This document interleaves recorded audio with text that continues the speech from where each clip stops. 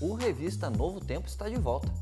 E a União Norte Brasileira administra as igrejas adventistas dos estados do Pará, Amapá e Maranhão. E é para lá que nós vamos para saber como foi o sábado do Dia Mundial dos Jovens Adventistas.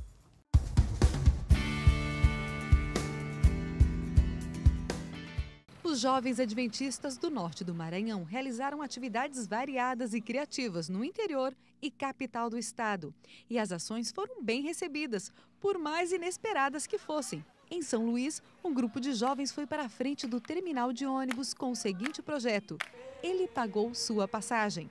Quando a pessoa entra, a gente explica para ela que Jesus pagou a passagem dela para ela ter acesso ao céu e nós pagamos a passagem e entregamos o livro missionário. Além de surpreender os usuários do terminal com o Vale Transporte de presente, eles fizeram uma brincadeira dentro dos ônibus. Quem recebeu o bombom, pode comer, ele é de graça. Demonstrando com humor que Cristo nos oferece seu amor gratuitamente. Só basta aceitar. Pela manhã foram realizadas mais de 200 ações em todo o norte do estado. E agora à tarde, na capital maranhense, está acontecendo a celebração do Dia Mundial do Jovem Adventista. Muito louvor e animação motivaram quase 6 mil pessoas a participarem deste culto de gratidão. E se a previsão do tempo dizia que seria uma tarde chuvosa, a única coisa que se pôde ver foi a chuva de bênçãos pela imensa participação nesta mobilização mundial pelo bem. Estiveram presentes no evento o prefeito de São Luís e o diretor de jovens, pastor Eduardo Batista, que lembrou o foco das ações realizadas. E somos a mensagem do advento a todo mundo dessa geração. Deus seja louvado pela juventude da União Norte. Parabéns para vocês. A FAAMA levou jovens, fanfarra e impressos a uma inusitada ação. Aqui na Faculdade Adventista da Amazônia não foi diferente e os jovens da FAAMA saíram dos portões para falar de Deus para os caminhoneiros.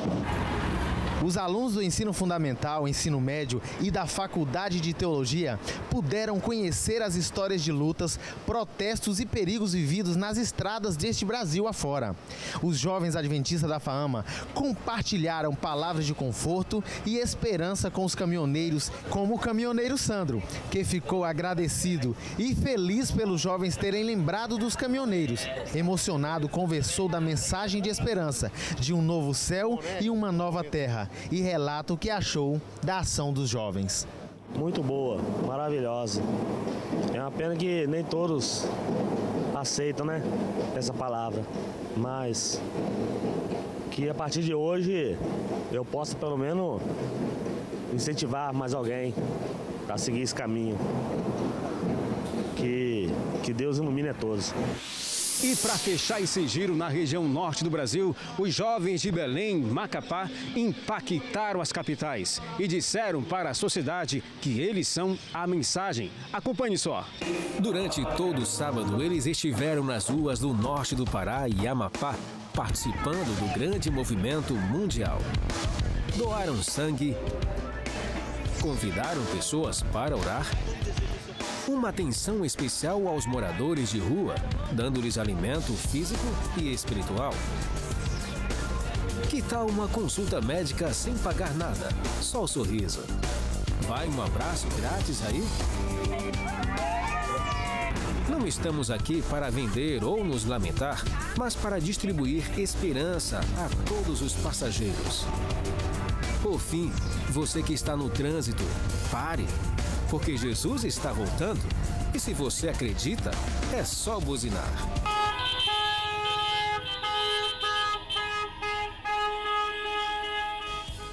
Estamos aqui no Dia Mundial do Jovem Adventista e como esse grupo de jovens, centenas e milhares de outros estão espalhados no Pará e no Brasil inteiro. São 12 milhões de jovens no mundo.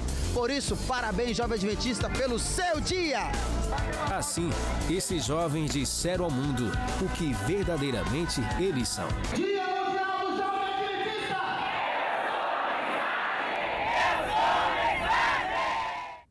Do norte do Brasil, nós vamos para o centro do país. Rebeca Silvestrin fala das ações no Mato Grosso do Sul.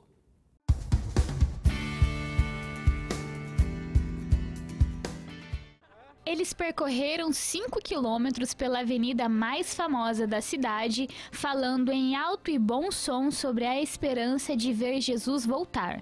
Eram adolescentes, casais, famílias, pais, mães, filhos, jovens adventistas de todo o Mato Grosso do Sul, unidos por uma única missão: espalhar o amor de Deus. A juventude campo-grandense impactou a cidade com uma passeata onde 2.500 jovens falaram a toda a população sobre a esperança de ver Jesus voltar. Dessa maneira foi comemorado o Dia Mundial do Jovem Adventista aqui na capital do Mato Grosso do Sul.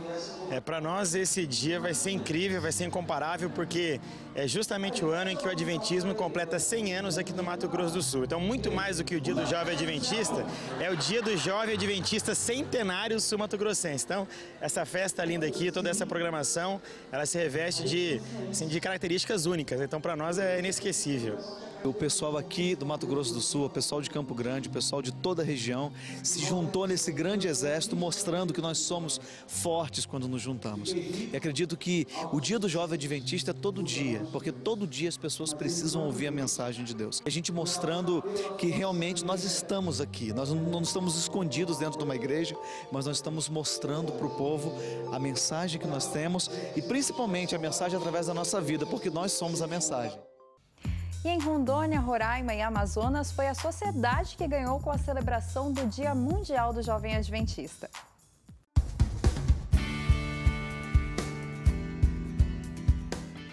Fim de semana era mesmo de celebração. As comemorações começaram na sexta-feira com bate-papo, perguntas e respostas sobre assuntos que interessam a juventude.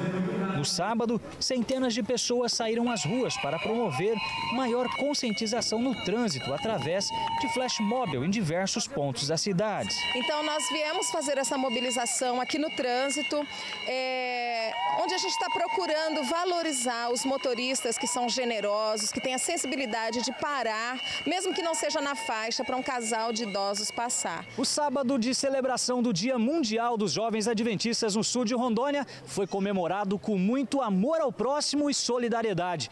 O exemplo está aqui os jovens distribuindo cestas básicas para as famílias atingidas pela enchente do Machado. Mais uma vez, o nível do rio Machado subiu além do normal e desabrigou diversas famílias. Momentos difíceis que nós passamos, que nem ele falou, mas Deus não desemparou, né? Ele sempre está olhando os filhos dele aqui na terra. Né? Além de receberem cestas básicas no Dia Mundial dos Jovens, as famílias continuarão recebendo apoio dos jovens adventistas até que possam voltar para suas residências. Hoje a igreja veio aqui, foi uma benção total. Em vez de eu ir, ela veio a mim, né? Fiquei muito feliz, viu? E a gente na liderança, a gente está motivando os nossos jovens a continuar fazendo isso pela sociedade. É isso que Jesus fazia. Uma massagem aqui, uma dica sobre alimentação ali atendimento médico, nutricional e por que não dar um trato no visual? Assim foram recebidas as pessoas que passavam pela movimentada rodoviária de Porto Velho, em Rondônia, no último sábado, 21 de março. Estou aguardando o, a lotação do táxi, que estou indo para a cidade de Cacoal, onde estarei ministrando possivelmente hoje e amanhã, e com certeza relaxado, vou chegar bem relaxado lá.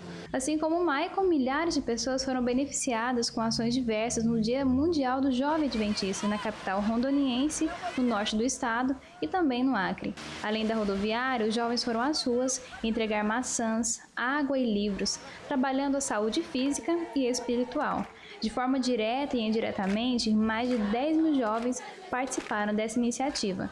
As ações foram realizadas pela A Sociedade, grupo de jovens adventistas que, além de pregar o Evangelho, realiza ações em favor do próximo. Todo mundo gosta de ter saúde e é por isso que a gente tem que pregar isso. E a nossa juventude hoje veio para cá para dizer o seguinte: que vale a pena você cuidar da sua saúde.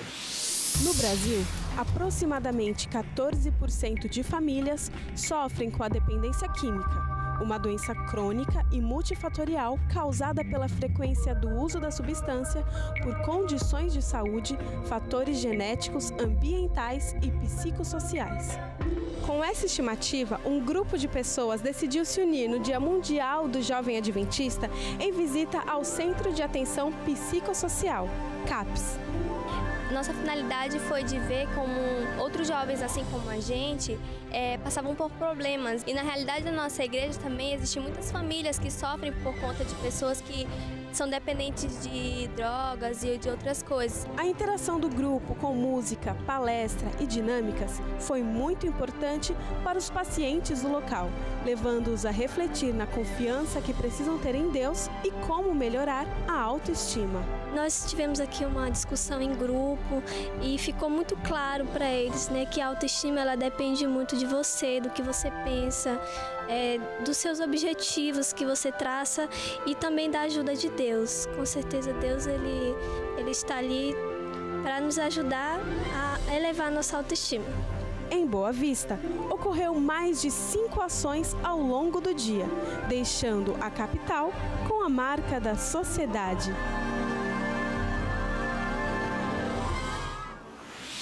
Os jovens adventistas da região norte e centro-oeste do Amazonas saíram às ruas para impactar a sociedade com ações que mostraram na prática o amor ao próximo.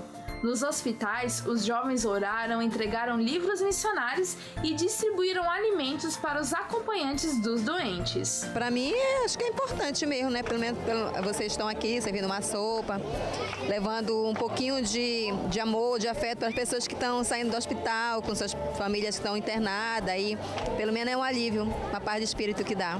O grupo também promoveu um flash mob no centro de Manaus, onde quem ajudava espontaneamente o casal de idosos idosos a levar as malas, era aplaudido pelos jovens, recebendo uma medalha por fazer o bem e o livro missionário Viva com Esperança. Os jovens aqui em Manaus, eles estão envolvidos em ajudar e servir sempre o seu, o seu próximo. Encerrando as ações, mais de 4 mil pessoas se reuniram no anfiteatro da Ponta Negra em Manaus para celebrar o Dia Mundial do Jovem Adventista. E a juventude, ela foi um sermão, ela foi uma mensagem na prática, porque eles fizeram o bem de em centenas de formas diferentes, com milhares de jovens nas ruas, nos asilos, nos hospitais, com mendigos, com crianças carentes, de todas as formas. Foi algo que valeu a pena, a nossa juventude está de parabéns. Nossa, quanta coisa interessante que os jovens adventistas estão fazendo, né? Parabéns a todos que participaram. E o Revista Novo Tempo fica por aqui. Dê uma passadinha no nosso blog e se mantenha atualizado com as principais notícias da igreja. Acesse novotempo.com/revista. Tem ainda os sites adventistas.org e news.adventist.org. Neles você se informa sobre os acontecimentos da igreja adventista na América do Sul e no mundo. Obrigada pela sua companhia e até semana que vem. Tenha um ótimo descanso. Tchau. Tchau.